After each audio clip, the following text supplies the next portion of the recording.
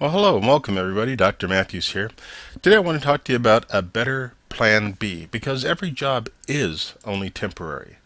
Now, stories abound about people who have worked for companies and corporations for years only to have the bottom drop out unexpectedly, leaving them well skilled for an industry that no longer exists for them. A prominent example is the newspaper industry. Once employing thousands, now it's competing with technology and instant news from almost anyone who has access to the internet. Now, although some of these newspaper businesses have thrived, many are have done so only through diligence and many others are still struggling uh, in today's economy. Uh, for many people, their plan was always to just retire, uh, work until you're done, enjoy your pension, and then retire. And this was a, a, laudable and notable way of life for many, many years, particularly during the uh, late 60s, 70s, and 80s.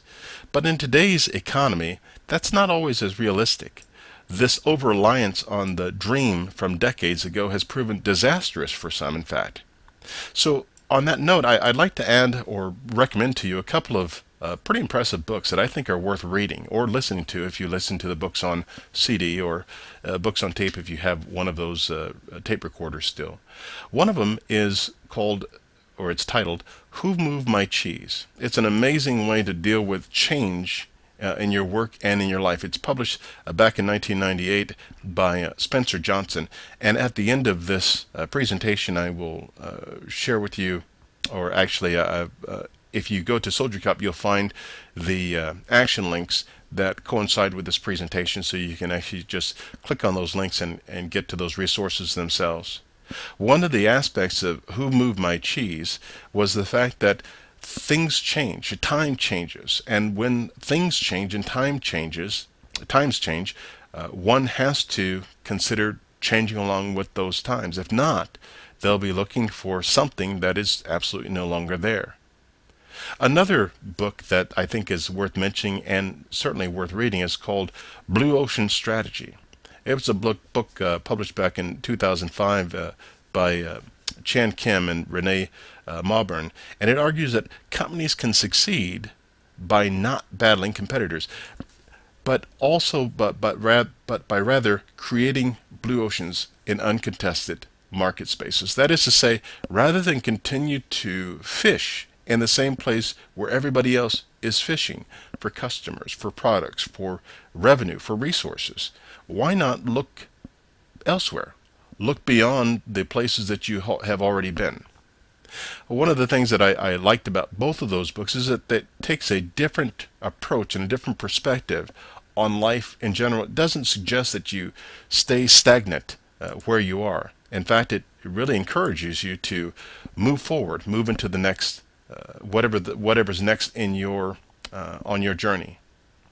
Uh, one of the things that I'm coming back to is the fact that uh, some folks who only had a plan A uh, they've been with the same company for years. They are well liked. They're very dependable. They've never given anybody any, any cause for any sort of disciplinary action. And so when the layoffs or the cutbacks or the right sizings do occur, they are shocked and amazed and quite unprepared uh, for the most part. So what does your plan B look like? You know, today there are very few guarantees uh, that uh, the job that you have today is going to be the job that you have for a long time.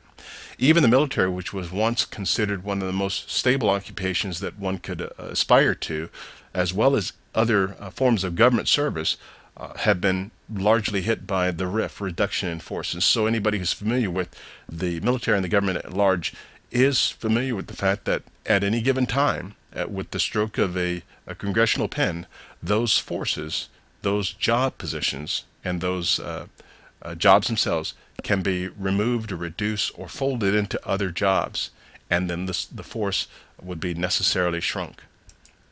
Not the brightest of uh, perspectives, and not necessarily something that uh, one would be looking forward to.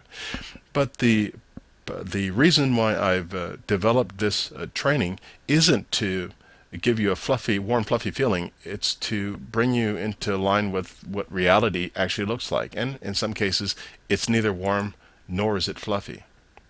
One of the things that you should know is that then, as in now, when the unexpected happens and the unprepared occurs, those without the plan B, uh, they tend to scramble. Sometimes plan A gets tossed out the window very, very quickly, but without in, having any sort of a fallback uh, as to what's going to happen next, whether it's plan B or C or the rest of the alphabet, uh, those folks who have no idea will struggle and they'll scramble uh, more so than those who have taken just a few steps, just a few, uh, taken a few steps and moved just a little bit into the direction of creating a plan B. The question is, if you are now gainfully employed, do you have a plan B? If not, what steps have you taken towards establishing a plan B? Right now is the best time for you to start preparing for your plan B if you haven't already. Do you have sufficient savings or investments, maybe diverse investments, uh, enough anyway to see you through whatever your employment transition might be? Uh, do you have a second, maybe even a third job that you've been working part time? Do you plan on returning to school, maybe complete your education and obtain a degree? Uh, maybe you might see your layoff or potential layoff as an opportunity to become an entrepreneur. Certainly, it's it's been said and and uh, it's been validated that uh, many folks are not going to get rich, wealthy, or even self-sustained by working for somebody else. So perhaps one of the good things that might happen is for you to get laid off uh, an individual by the name of Pat Flynn uh, started a smart passive income blog and website, which I again I'll have that in the uh, in the action links uh, on the uh, Soldier Cop site, and in his smart passive income uh, blog, which then became a, a podcast, which has been diversified into a number of other things. One of the things that he uh, continually reminds us of is the fact that he didn't get started because it was his plan B. Initially, he didn't have a plan B. When he was laid off from his work uh, job, uh, he didn't know what he was going to do, and so turned to a, uh, a methodology that I'll speak to in just a second uh, that seemed to have uh, helped him. And he started making money. First, uh, a little bit at a time, but certainly wanting to change the lifestyle he was in and still maintain the flexibility to do what one of, some of the things that were most important to him. And he's uh, cut out quite a, a nice niche for himself. I encourage you to visit the Smart Passive Income and read Pat Flynn's story. He's very open and honest and transparent about what it is that he's doing. He's helped a number, a number of other entrepreneurs uh, get started in their uh, journey towards, uh, if not financial freedom, at least uh, passive income um, to be added to the current income. Perhaps uh, you were thinking that if you're laid off, if your job goes away, you'll have an opportunity to then relocate, uh, maybe move in with your friends or family if that's something that was already uh, on your mind or something that was already in one of your uh, drop dead plans, one of the last things you might want to do, it's still a an option. It's a viable option. Maybe it's not the first option, but it's still a viable option and you've got a plan. Regardless of the depth of your plan, you at least need to have a plan should your services be determined to be uh, no longer needed. So to strengthen whatever your plan is, I'm going to suggest that you do a couple of things. Assess and evaluate assess, and evaluate. First, conduct a detailed calculation and determine how much money you think you need to survive for uh, one or two years. This is the assessment phase. And by survival, these are uh, this is how much money would you need to pay the bills you have to pay, uh, pay off the debt that you have to pay off, survive uh, in uh, by means of uh, having a, a, roof over your head, having food, and if you have a family, of course, providing for your, your family. If you were to be laid off for an extended amount of time, how much money would you need to have uh, available to you, whether that's broken down uh, weekly or monthly or uh, maybe even annually? Hopefully, your job hiatus wouldn't last too very long because you'd be you'd already be active and involved in a job search. Uh, then the the evaluation. Estimate how much you could reasonably set aside in your current uh, primary occupation or from your current uh, paycheck. Um, how much could you reasonably set aside each pay period to reach whatever that goal might be? That plan B goal, that secondary goal, that money set aside just in case. How much could you reasonably set aside, and then how long would it take you to reach that plan? All of these are methodologies or, or methods and thoughts of how you can cut back and shrink down and reduce. But just as important as cutting back uh, on spending, it's equally necessary for you to find ways to add to or increase your revenue. And so I want to go into a, a, couple of things, uh, just a few ideas that I have uh, that you could take and, and of course use them to your uh, your greatest advantage. Um, and extend what it is you're doing now to add to your existing revenue. These are some low cost or no cost suggestions on how you can, as I like to think of it, slightly increase your income. This is not some sort of get rich scheme. This is not some idea that you will be able to quit your current job and then move on full time into something else. I'm just suggesting ways for you to shore up or support the income that you already have. I would suggest that you start by conducting a, a, SWOT analysis. SWOT stands for Strength, Weakness, Opportunity, and Threat. And if you want to know more about that, if you visit the Soldier Cop website, you can simply type in SWOT and it will uh, bring you to a, a very well-known uh, and well-publicized article on SWOT analysis. It's also going to be in the action link so you can simply click on there. And then finally, you can always Google it and look it up on whatever your, or look it up through whatever your favorite uh, uh, internet uh, search engine might be. But the idea is to identify your strengths, weaknesses, opportunities, and then uh, we could get into the threats. Now, we're not going in this particular presentation. We're not going to uh, spend any time with the weaknesses, opportunities, or threats. I just want to talk about how you can use your weaknesses, uh, or rather, use your strengths to support what it is you're already doing. I've always been a fan of the fact that you should always play towards your strengths. Now, many others that uh, talk in the um, the leadership field and in the uh, uh, areas where they're talking about uh, increasing um, personal productivity or professional productivity will talk about identifying the weaknesses and then strengthening your weaknesses to level them out. While that's uh, certainly a uh, a a method and maybe even a laudable method, one of the things I see that is is kind of a uh, an unproductive use of your time. Why not? Why wouldn't it be better for you to simply identify your weaknesses, recognize them as a weakness, and unless there's some compelling reason for you to strengthen that weakness, just put a check mark there. This is a weakness. I understand this weakness. This is my strength, and I'll play to my strengths. I can outsource my weaknesses to somebody else or to some other venue, or if they're that important, I can figure out ways to later uh, maybe shore them up or make them a little less weak. Once you've identified some of your strengths, consider ways of leveraging these strengths. Now, these are again hypothetical strengths that you might have, but they're pretty uh, pretty reasonable. Perhaps you own or maybe you rent a residence that's located in a well-populated neighborhood uh, by well populated would be maybe uh, several dozen or several hundred families that are there in the neighborhood. You know who your neighbors are. It's on a, a fairly uh, accessible street. Have you considered, or maybe you should consider, hosting a monthly yard sale or maybe a garage sale, or they may call it a, a swap meet or a flea market? If you host it yourself, all you're really doing is you're providing maybe the tables. Uh, you bring out a few tables. Uh, if they want to hook up particular appliances to show that they're working, then you would of course provide the electricity for that. But then you could charge a premium price, maybe 10 or $15 per table. And you might be thinking immediately, well, who would spend $15 to come to my place in order to sell their stuff? Well, that's how uh, the revenue gets started. Sure, they're giving you 10 or $15 up front, but that's all they're paying. They're not paying a percentage on the amount of stuff that they're going to sell.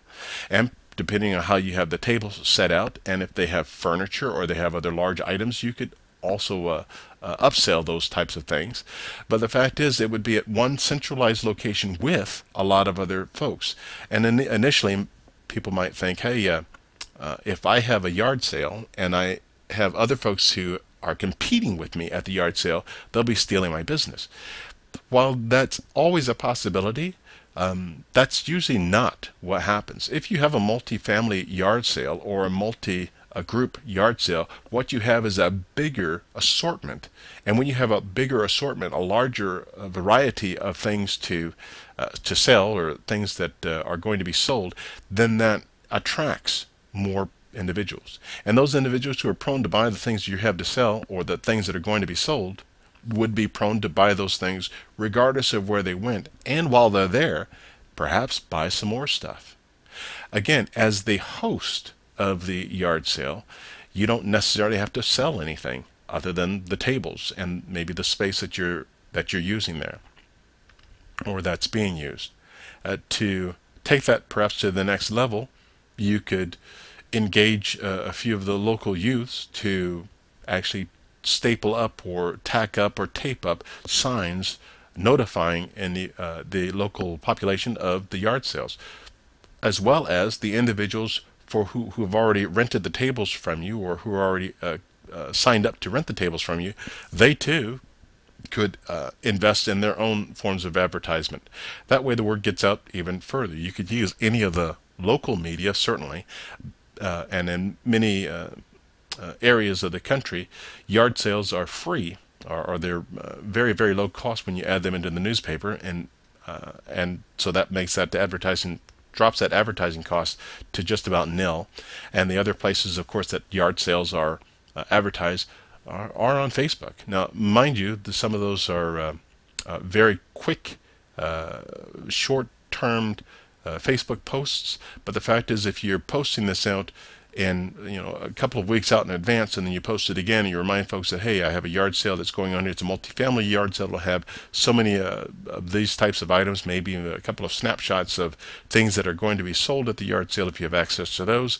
You can excite and interest in individuals to come visit your location in order to uh, to uh, uh find things that they might need uh, or if those are the individuals who are looking to actually participate in a yard sale by selling, they would know to contact you and then you could sell them table space.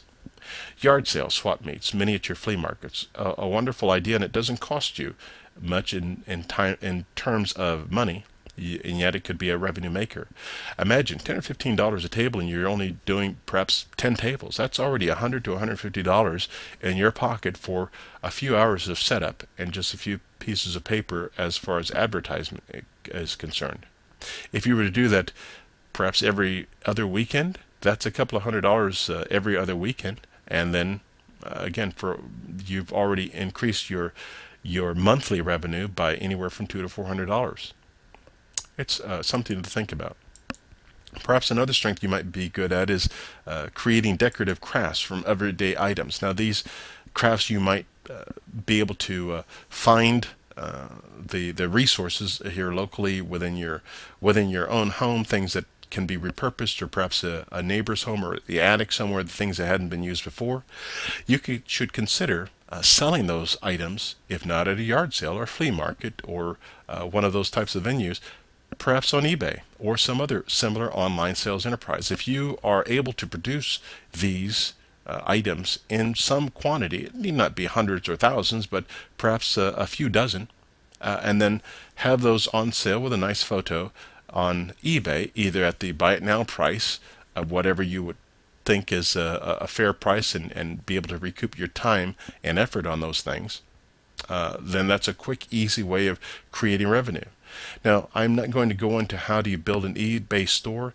If you're interested in how you can monetize using eBay, again, I, I uh, encourage you to visit uh, Pat Flynn's um, Smart Passive Income uh, blog and or podcast because he's interviewed numerous guests who are absolutely crushing it on eBay and they're actually killing it in these online industries. Perhaps you have uh, an expert knowledge in um, music or cars or uh, how to run particular computer programs or computers in general. Maybe you are very astute at how to um, solve math problems. Maybe a source of revenue for you might be to become a tutor.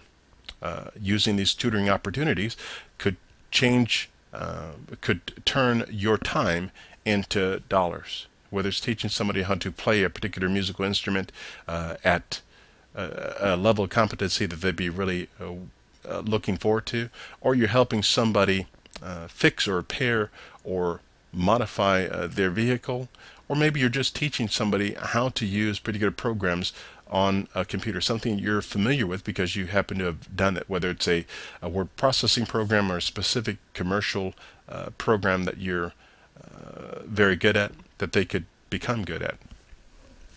Tutoring is a, a great way to uh, add revenue to your bottom line without, again, uh, creating or generating, spending a whole lot of, of excess uh, money or time and resources. You could use the same methodologies uh, um, or methods for uh, alerting the general public that you have this this um, uh, opportunity available to them using Facebook or social media, one of the other social media networks, as well as uh, perhaps posting something on a, a, local bulletin board in the uh, store. And then, of course, your own personal network, uh, your friends, your family, your colleagues, once they know that this is something that you're doing in order to uh, help somebody else, and that would have to be the bottom line that you're trying to help others.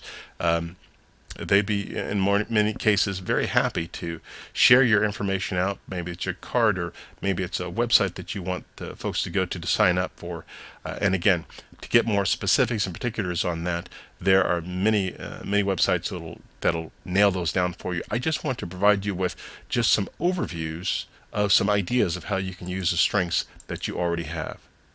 Maybe you're good at breaking down complex concepts and explaining them to a group. Have you ever considered consulting? Consider consulting part time. Uh, maybe putting together a workshop for uh, a particular uh, niche area. A workshop that I've done a, a number of times is leadership for law enforcement, in which I go to an established area where uh, local law, law enforcement leaders who are managers, mid-managers, and perhaps getting ready to take over leadership role will come, and I'll uh, speak to them for a few hours. We'll work through some um, uh, some scenarios uh, during the workshop, and they will leave with a skill set that they didn't have, or an enhanced skill set that they already had, simply because uh, I was able to provide them with some knowledge, some information they didn't have, uh, also credible information certainly, but it takes them to it shortens the learning curve and takes them to the place uh, that they want to be uh, within their professional careers. Maybe you uh, help uh, enjoy help helping uh, non-native language speakers learn a particular language. Uh, the language I've taught here are just Spanish, English, and perhaps even Mandarin. So if you have a an English speaker, primary language who who language, a person whose primary language is English, and they're trying to learn Spanish, Mandarin, or some other language other than English, and you're good at whatever the other language is, and you can uh, provide for them some uh, some more than just consulting and more than just tutoring, uh, you can actually teach them how to speak this particular language in a manner that would be considered conversational. That's a a wide open space for you to leverage. And there's a number of different ways you could do that, whether that's face to face or it's over uh, the internet using Skype or Zoom or one of the other face to face or semi face to face conference call type of of uh, programs or applications. There's a lot of different ways that you could reach out to uh, an audience, uh, particular uh, particular audience, and teach them a language that may not be native to them. And of course, if you have non-English speakers who are looking to speak English, uh, seeking to speak it uh, in a more colloquial fashion or maybe just a more professional fashion or professional way, or maybe it's just conversational English that they're looking to to shore up uh, within their own uh, their own speaking capabilities, becoming a a teacher uh, or just teaching them uh, English as a sideline. There are uh, also, if you go online, you can go to uh, websites such as I think it's tutor.com and a couple of others that are pre-existing and sign up for opportunities to uh, engage in teaching other people how to speak a particular language. And English right now is one of the uh, more more popular languages for non-English speakers to uh, uh, to sign up for. Perhaps you're gifted in developing uh, physical fitness regimes for um, uh, sedentary occupations. Maybe you know that sitting at your desk or sitting at the computer or sitting at a uh, uh, on the line somewhere can develop uh, or create within individuals some physical debilities that can be overcome through some specific stretching or some specific exercises uh, or some infrequent standing, stretching, and a combination of exercises that can be done right there in the work workspace. By being a, becoming a, a fitness coach, even if it's just at uh, that that particular area for that particular niche area, this is a great opportunity for you to help somebody else and then, of course, earn additional revenue. This is a win-win uh, for just about everybody who's involved. The individual gets uh, healthier, and then you make revenue uh, or add to your revenue on the side. Maybe you enjoy writing or, or reading information and then sharing that same information. Well, you should consider maybe uh, starting a membership blog, something along the lines of of how you could perhaps do something like scrapbooking. That's something you might, if that's something that you enjoy or something that uh, uh, enjoyable for you, there are plenty of other people who would love to learn how you go about doing uh, a, making particular uh, scrapbook uh, pages or if it's some sort of craft that you again are developing or you're very good at there's uh, lots of folks that you could find uh, a, a, a waiting audience looking for an opportunity to absorb the knowledge that you're ready to provide to them and you could do that through a membership blog. And again, you could advance this a little bit further by uh, going online, either creating a, a website or using uh, one of the uh, multimedia packages that will allow you to interact with uh, individuals online.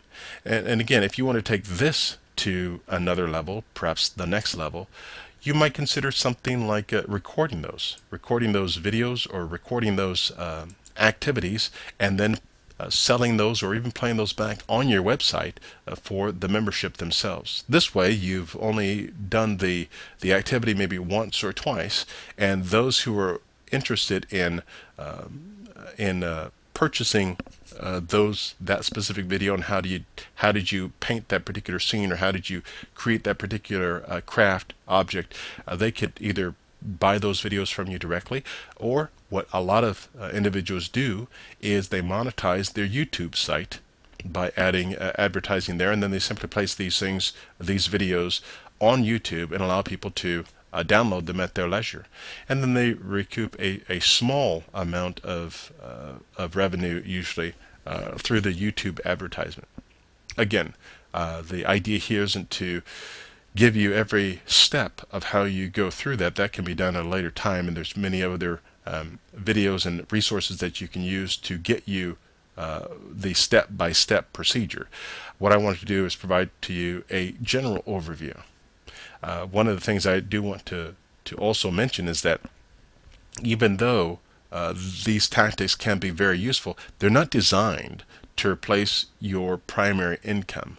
Uh, they can at some point replace your primary income if they become very lucrative or you uh, find that you are as, as, many people have done they start out with a hobby which turns into a business and then finding find out that their hobby slash business is bringing in more income than their primary source of uh, income was perhaps then it's time to consider making a change but that might be down the road for many of you uh, I know it'll be down the road for, for many of us for many years because of uh, the just the way that things start out. Many of these these uh, ideas, these strengths that turn into hobbies and uh, uh businesses, uh, they take a little while to get off the ground. And whether a little while is a couple of days or a couple of weeks or a couple of months or maybe longer than that, uh, it's probably not going to be an instant overnight success.